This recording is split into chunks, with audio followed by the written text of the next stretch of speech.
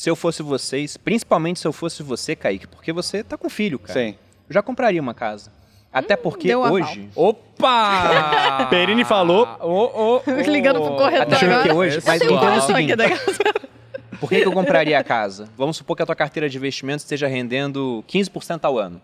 Provavelmente está tá. mais. Você tem Deve ações tá. junto, deve estar puxado para cima a É, rentabilidade. portfólio me ajuda bastante. 15, 20. Sei, de contar ações Grupo Primo, tá muito Não, mais que esquece. isso. Sim, pois é. O teu patrimônio ele está bem investido. Sim. E você pode pegar uma casa onde você faz um financiamento depois da entrada com juros de 9%.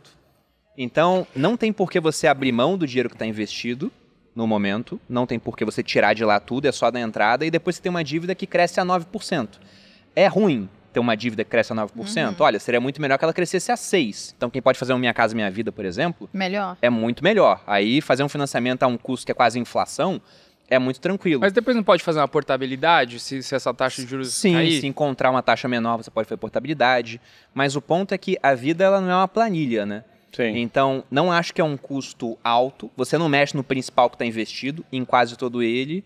E como você tem filho, e vocês também estão casados com o Grupo Primo, agora vocês têm muito mais estabilidade para poder falar, não, esse imóvel aqui vai ser o que eu vou morar. A gente demorou para comprar casa por conta disso também. Porque em São Paulo, a gente ficou um tempo e depois ia para os Estados Unidos. Aí depois ia voltar. Só quando a gente veio para cá e falou, não, agora não vamos nos mexer mais. cara. Daí a gente comprou. E São Paulo tinha muito uma coisa também que quando você tem um Até porque poder. a casa é tranquilo. O, É. o ruim são os móveis.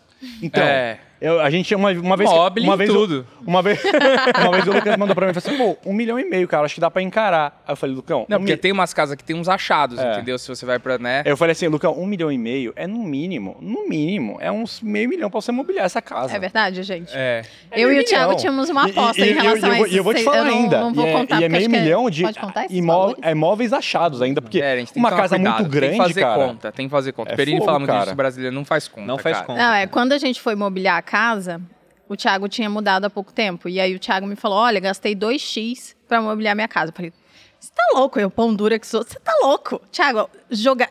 roubaram dinheiro seu. Eu falei pra ele. Aí comecei a fazer a planilha de tudo que eu comprava.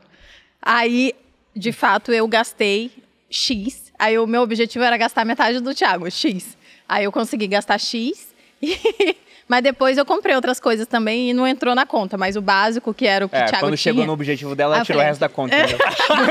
Parou com a. Não, isso não vai Mentira, mentira, contar. eu Isso não vai, mas o sofá. Então o sofá vem pra cá. Tapetinando. Mas- Tapetinando. Tipo Só- arcabouço fiscal. Não, educação não conta.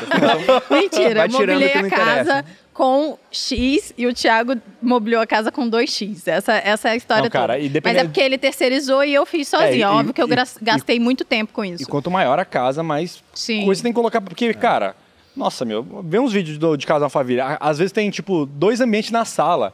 Então, às vezes, você vai ter que ter dois, três sofás, senão vai ficar um negócio, meu. É, senão fica a casa desse- dos marqueteiros digital de Alphaville que você, Que não você tem entra na nada. casa do cara não tem nada. Você fala, mano, o que, que é isso aqui? Não, cara? na O minha cara- sala O cara dorme numa cadeira. Na tá minha ligado? sala principal tem três sofás. Não, dois sofás e duas poltro... três poltronas, mais a E até mais mesmo a- apartamento, cara. Apartamento. Cara, eletrodoméstico. Faz. Meu, você precisa montar uma cozinha. Faz vai, conta, Vai, faz nossa, Primos, olha só, a Boali é a maior rede de alimentação saudável do mundo, tá? E se você quer ganhar dinheiro, quer ter mais liberdade, quer curtir uma vida mais equilibrada, vou te apresentar um negócio legal aqui, ó. Você pode ser um investidor das franquias Boali.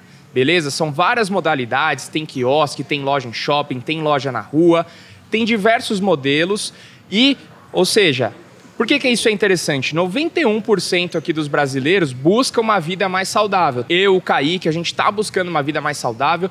Então tem muita gente buscando uma vida mais saudável, tem muito público na Boali. E para você fazer parte desse negócio de sucesso, clica aqui no link da descrição, escaneia o QR Code na tela, busca informações, vai entender o que pode ser o melhor para você e invista na maior rede de alimentação saudável do mundo, beleza?